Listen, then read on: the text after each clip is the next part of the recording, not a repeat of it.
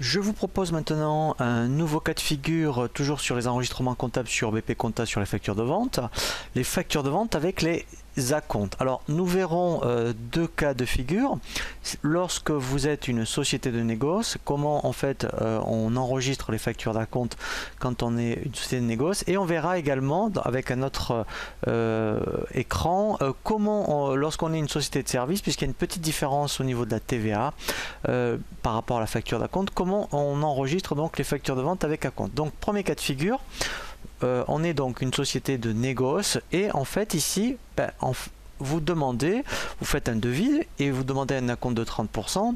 Donc le client vous retourne un bon pour accord et vous envoie un chèque, vous voyez, de 150 euros. Donc vous, en fait, première chose que vous allez faire ici, vous allez constater une facture d'acompte. Vous allez envoyer à votre client, euh, surtout s'il vous le demande, une facture d'acompte et vous verrez que ici, vous voyez, il n'y a pas la TVA. Donc en fait, on va enregistrer dans un premier temps cette facture d'acompte et lorsque vous faites donc votre prestation, vous allez donc après euh, émettre la facture finale, eh bien nous allons voir euh, comment, puisque le client après effectivement sur une facture de 500 euros, donc en fait elle fait 600 euros, mais il ne vous doit plus que 450 euros, puisqu'effectivement il y a eu un acompte de 150. Donc on va voir déjà comptablement comment on saisit un acompte, une facture d'acompte, et ensuite comment on saisit la facture finale avec déduction d'acompte. Donc je précise bien, pour l'instant, ici, c'est vraiment que lorsqu'on est une société de négoce. On va voir juste après, lorsqu'on est en fait une société de prestation de services.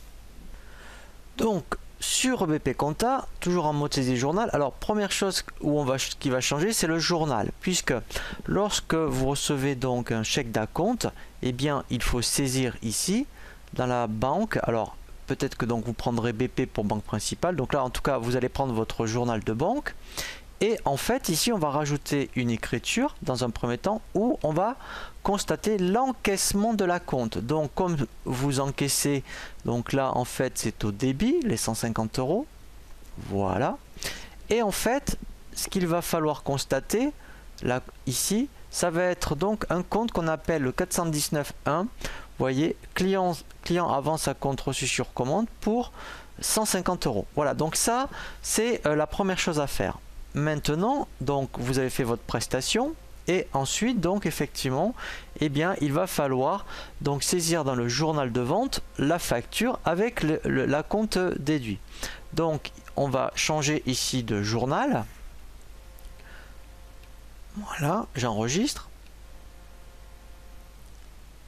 Voilà, donc première chose que on va enregistrer, donc ici je vais rajouter mal une ligne. Donc première chose, je vais donc là, on est une société de négoce. Donc ici, eh bien, en fait, première chose, on va enregistrer les 500 euros. Ensuite, ce qu'on va faire, on va déduire puisque euh, le client vous avez payé 150 euros d'acompte. Donc comme il était au crédit, le 4191, donc là il faut le solder. Donc on, on, va le rappeler et on va le rappeler ici en fait au débit. Puisqu'en fait ça n'a plus lieu d'être. Ensuite, donc on va constater la TVA. Voilà. Donc là, je vais saisir les 100 euros. Et maintenant, je vais constater la, le, montant final que me doit le client. Et eh bien, en fait, le client, ici, il ne me doit plus que 450 euros, ce qui est vraiment donc la réalité de la facture, vous voyez, c'est bien ce montant-là qu'il me doit. Donc en fait, hein, voilà, première chose, on constate la compte dans le 4191, on débite la banque pour 150 euros et ensuite, et eh bien effectivement, euh, on déduit la compte. Donc on va maintenant débiter le 4191 pour l'annuler de celui-ci. Et donc après, et eh bien au débit, on n'a plus que 450 euros. Voilà, donc ça c'était le premier exemple lorsqu'on est une société de négoce. Maintenant, on va voir un deuxième exemple lorsqu'on est une prestation de service. Je reprends donc là mon exemple des factures d'acompte. Donc là, la seule chose qui va changer, c'est que si, alors bien sûr, hein, tout dépend comment vous demandez, euh, vous établissez votre facture d'acompte. Donc là, par rapport aux 150 euros, en fait, on va donc avoir 30 euros de TVA. Donc en fait, le client vous donne 180 euros. Eh bien, en fait, on va voir ici, vous donc sur la facture finale, en fait, il faut déduire les 150 euros ici, donc par rapport au hors taxe, parce qu'au niveau de la TVA, il ne vous devra plus que 170 euros. Et en fait, ça fait bien 600 euros puisqu'il vous aura payé 180 euros. Et donc là, en fait, le client vous doit bien que 420 euros et on retombe bien sur nos pieds puisque 500 euros et ça fait donc il y a bien 100 euros de TVA en principe. Et donc là, en, fait, vous voyez, donc on a bien les 100 euros de TVA 77,30. Voilà, donc en fait, on va bien retomber sur nos pieds. Donc là, on va voir comptablement comment d'abord on saisit la facture d'avant d'acompte lorsqu'on a une prestation de service et après la facture finale. Donc là, ce qui est intéressant, eh bien, c'est que on va voir euh, par rapport à, on va pouvoir comparer par rapport à la société de négoce. Donc première chose, je reviens dans le journal de banque. Voilà. Donc ici, je rajoute une ligne. Donc là, en fait, ce qui va se passer, c'est que là, en fait, au niveau du 512, je vais donc enregistrer 180 euros. Voilà. Ensuite, eh bien, en fait, j'ai euh, de la TVA collectée. Donc là, je vais appeler mon compte de TVA collecté. Voilà, ici pour 30 euros. Vous voyez, il le fait bien. Et là, je vais bien appeler mon compte 4191. Appelle donc ici après mon compte 4191. Et là, vous voyez, donc ici, je l'indique pour 150 euros.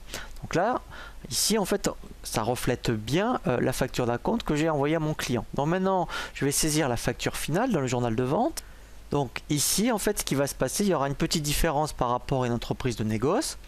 Donc je vais rajouter une ligne. Donc ici, je vais donc appeler mon 706. Voilà. Donc toujours pour 500 euros. Par contre, ce qui va se passer, c'est que mon compte 4191, voilà, je vais bien le déduire ici pour 150 euros. Voilà. Ensuite, ma TVA. Donc là, en fait, eh bien, ici, je vais mettre 70 euros. Et donc, mon client, en fait, je vais bien mettre 420 euros puisque c'est vraiment ce qu'il me doit. Et en fait, vous voyez ici, mon écriture est bien équilibrée. Voilà, donc c'est une petite variante hein, par rapport au sociétés de négoce, c'est que effectivement, on doit tenir compte de la TVA dès que vous encaissez. Donc puisque euh, quand on fait de la prestation de service, on est aux encaissements décaissements, et bien donc au niveau de la facture d'acompte, il faut déjà enregistrer de la TVA sur la compte.